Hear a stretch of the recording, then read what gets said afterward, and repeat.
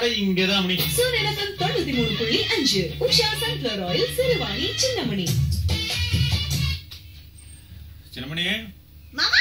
அது என்ன இது? வேலையா இருக்கிற மாதிரி தெரியுது. அ- அடி மாமா என்ற பிறந்தவன் ஊர்ல இருந்து வந்துக்கிறானா? ஆ. அப்புறம் தான் அந்த அவனுக்கு ஏதாவது வடை போண்டா செஞ்சு கொடுக்கலாம்னு பாக்குறேன் அது எங்கீங்க மாமா. ஆ? ஏ, ஆ, ஏதோ வெள்ளக்கார துறையாட்டு கேமரா வச்சுட்டே சுத்திட்டு இருக்கிறான் அவன். அல்ல அக்கா வந்து பண்ணையத்தை எப்படி பாக்குறா அப்படிங்கறத பதிவு செஞ்சுட்டு போய் அம்மா கிட்ட சொல்லுவாங்கன்னு என்ன அப்புறம் ஊர்ல பெருமையா சொல்ல வேண்டாம் நல்லா வளர்ந்துருக்கிறான்னு போய் சொல்லுவான்னு நினைக்கிறேன். கேமராவில ஃபுல்லா இருக்குமே. இப்போ போன போகுது. ஜலதோஷம்னு சொன்னீங்க